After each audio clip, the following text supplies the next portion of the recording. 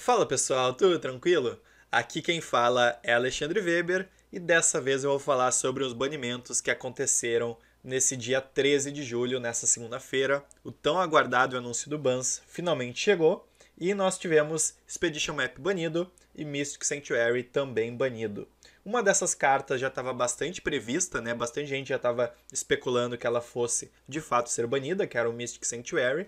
E a Expedition Map, por sua vez, pegou muita, muita gente de surpresa, já que o Tron ele tinha muitas possibilidades de cartas que poderiam ser banidas, e Expedition Map era uma delas, mas não era a carta mais cotada do Tron.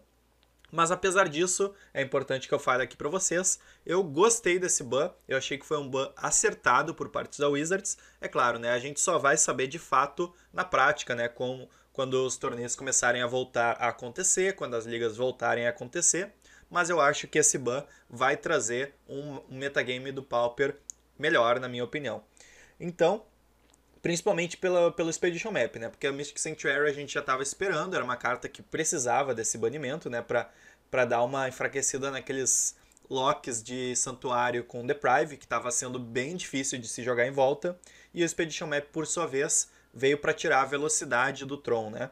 Tirou bastante velocidade que, com que o Tron consegue fechar, né? O famoso famoso pacote de Urza, né, os lentes do Tron.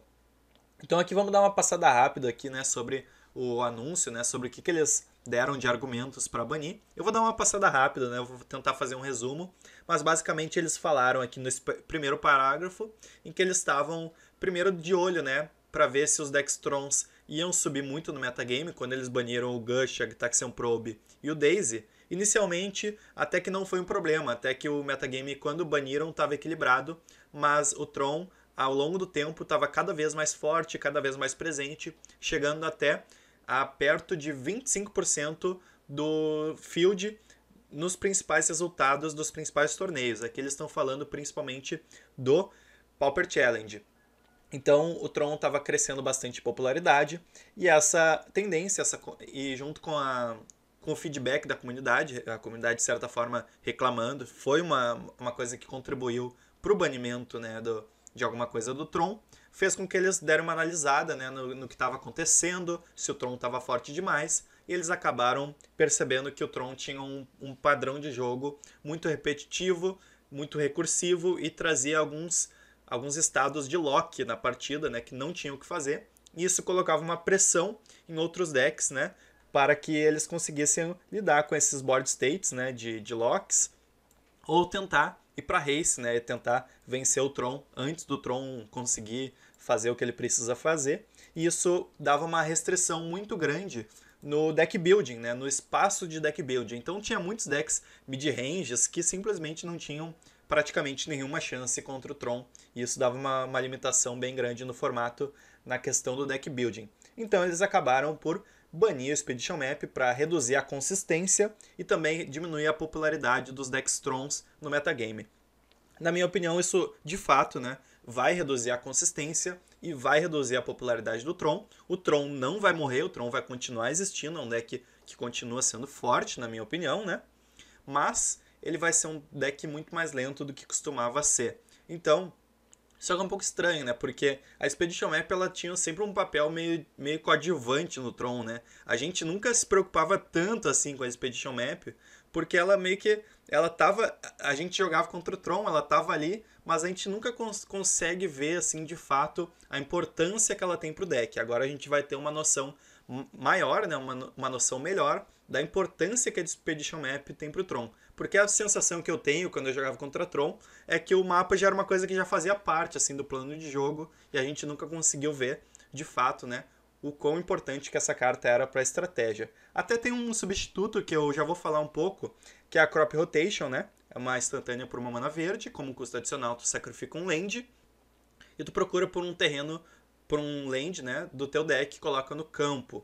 Então a Crop Rotation na minha opinião, ela não vai substituir a Expedition Map. Claro que muita gente vai tentar, né, fazer com que essa carta jogue no Tron, mas ela tem uma grande, uma grande defeito que ela tem o custo adicional de ter que sacrificar um land. Então, tu, tem, tu vai gastar uma mana verde, tu vai ter que gastar esse custo adicional. E se o teu oponente anular com Dispel, com uma Spell Stutter Sprite ou com Counter Spell, simplesmente tu vai perder o teu lente para sempre e tu não vai buscar o terreno, né? Não vai fazer o efeito e além disso tu vai ter pago esse custo adicional de sacrificar um terreno. Então é uma carta pouco confiável para substituir o Expedition Map.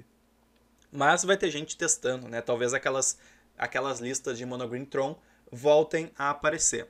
Agora falando sobre o Mystic Sanctuary, que também estava criando um looping repetitivo, né? Tava um padrão de jogo muito repetitivo, com estados de jogo de lockout, né? De lock, quando tu não tem mais, mais o que fazer, principalmente com a questão ali do Deprive, com as cartas de compra, né? Tava trazendo um, um padrão de jogo que estava bem ruim para os decks conseguirem jogar em volta, por isso que ela, por isso que escolheram banir a Mystic Sanctuary. E também estava providenciando um, uma pressão negativa no metagame, né? Uh, por causa dessas cartas que permitiam esses loopings no final do jogo que não tinha muito o que fazer, né, para a maioria dos decks.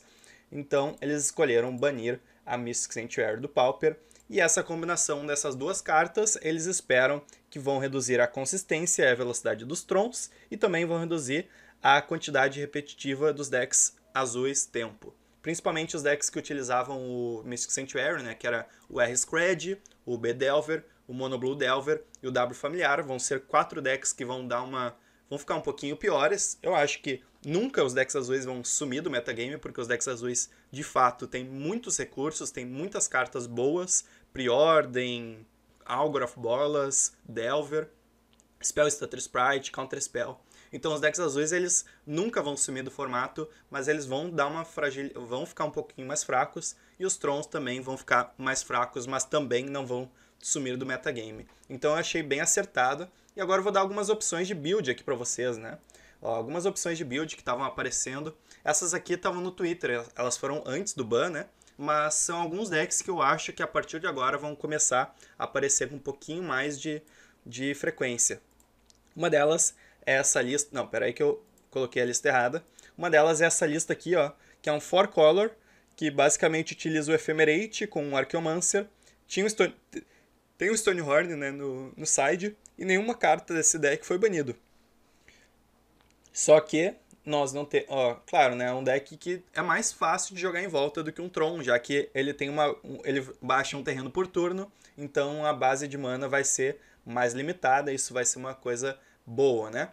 Então eu acho que esse tipo de deck vai começar a aparecer mais no metagame, né? Four Colors, utilizando bastante a Thriving Isle, né? O terreno novo, e alguns outros decks que agora eu vou mostrar para vocês. Esse segundo deck que eu quero mostrar era um deck que estava utilizando o Mystic Sanctuary, né? Duas cópias por causa de um Deprive, então vocês verem, vocês vejam que só por causa do santuário, um Deprive já era o suficiente para utilizar bem o, os santuários, né?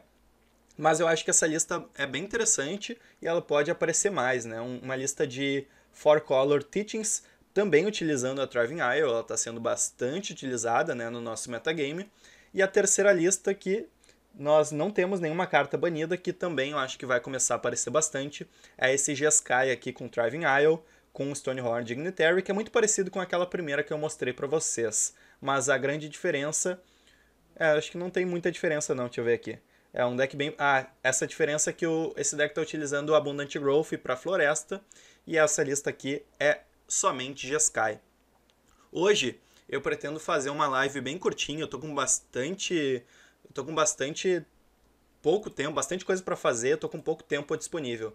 Então eu pretendo fazer uma live de no máximo uma hora em que eu vou criar, né? Criar não, vou tentar refazer esses decks que tomaram ban. Então eu vou dar uma Vou refazer o Tron, vou tentar dar uma mexida no Tron para que o Tron volte a jogar bem. Vou tentar fazer isso com o W familiar e também com mais algum deck, a escolha de vocês. Então vamos ver como é que vai ser isso até a hora da live, às 18 horas, no link que eu vou deixar agora no, na tela. Não sei se eu vou deixar agora na tela, mas é site roxo, que vocês sabem qual que é o site roxo, espero que vocês saibam, ponto .tv barra Alexandre Weber MTG. Então, site roxo.tv barra Alexandre Weber MTG. A partir das 18 horas eu vou estar tá montando decks que tomaram, que foram banidas algumas cartas e eu espero que vocês gostem desse conteúdo. Agora eu quero saber a opinião de vocês. O que vocês acharam desse ban? Se vocês acharam um ban correto, se vocês acham que o Tron vai continuar um deck muito forte ou se vai dar uma enfraquecida. Eu acho que vai dar uma boa enfraquecida no deck, mas vamos ver como é que vai ser de fato. Tem também aquela questão né, dos X-Boros, que sempre falam que, que vão começar a dominar. Eu acho que não vai ser o caso. Eu acho que não vai ser o caso. Eu acho que os X-Boros ele já tem algumas limitações contra os próprios decks agros, na minha opinião. O Boros Monarca tem uma dificuldade bem grande, na minha opinião, contra os agros que eu tenho visto assim nos últimos tempos, contra o próprio Stomp, contra Affinity. Não é um deck que está conseguindo segurar tão bem assim os decks agros quanto costumava ser no passado.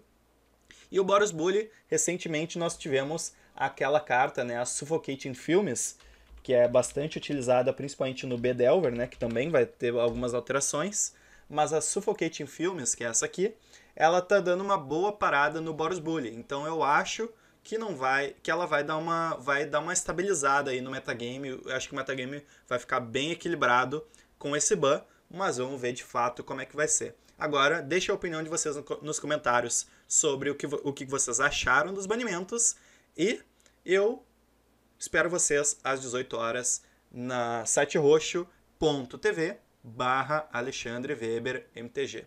Um grande abraço, até a próxima, falou!